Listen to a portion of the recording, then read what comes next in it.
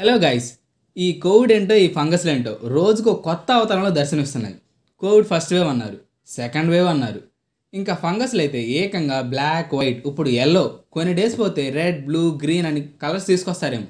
ఈ దేవుడు ఏంటో మనతో చిన్నప్పుడు ఆయన కలర్ కలర్ గేమ్ ఆడుతున్నాడు. ఈ ఫంగస్ కూడా మిగతా రెండింటిలాగే బాడీలో ఇమ్యూనిటీ తగ్గిపోవడం వల్ల వస్తుంది. By the way black and white funguses videos ఇంకా చూడకపోతే కింద డిస్క్రిప్షన్లో లింక్స్ ఉన్నాయి. ముందు అవి చూసి ఈ వీడియో చూడండి. అప్పుడు మీకు ఒక క్లారిటీగా ఉంటుంది. నార్మల్గా అయితే ఎల్లో ఫంగస్ అనేది రెప్టైల్స్కి వస్తుంది. అంటే తొండలకి బల్లులకి వస్తుంది.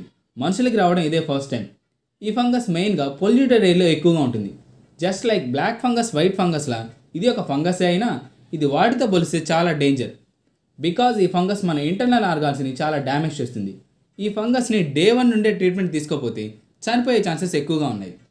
ఈ ఎల్లో ఫంగస్కి సిమ్టమ్స్ వచ్చేసి మన బాడీలో ఎనర్జీ లేదు అనే ఫీలింగ్ రావడం ఆకలి వేయకపోవడం సడన్గా మనిషి వెయిట్ లాస్ అవ్వడం చీము రావడం అనేవి.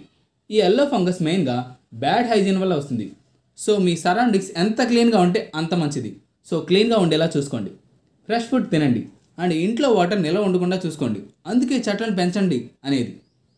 ఈ ఎల్లో ఫంగస్ వల్ల ఎవరికి రిస్క్ ఎక్కువగా ఉంటుంది అంటే ఆబ్వియస్లీ లో ఇమ్యూనిటీ ఉన్న వాళ్ళు ఆల్రెడీ కొంతమంది హెల్త్ ప్రాబ్లమ్స్తో బాధపడుతున్న వాళ్ళు.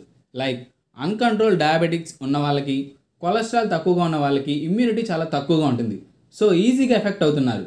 So be careful guys that's it guys ఇది ఎల్లో ఫంగస్ గురించి. ఐ హోప్ ఇది ఫంగసెస్ మీద లాస్ట్ వీడియోని అనుకుంటున్నా.